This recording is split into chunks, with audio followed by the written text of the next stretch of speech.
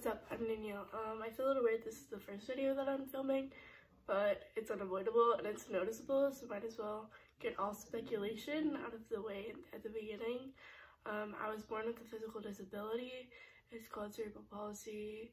It's a brain injury that was sustained before, during, or shortly after birth, where my cerebral cortex was affected. So basically, like the part of my brain that affects like movement and muscle tone and strength.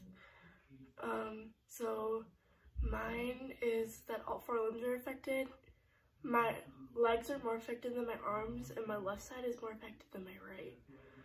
Um, I still I can still walk. I use forearm crutches, and I don't have them right now, so I'll insert a picture right here.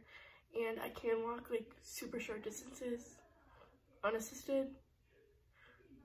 And I'm really into like the disability community and advocacy, but that's not what I want my entire channel to be based around.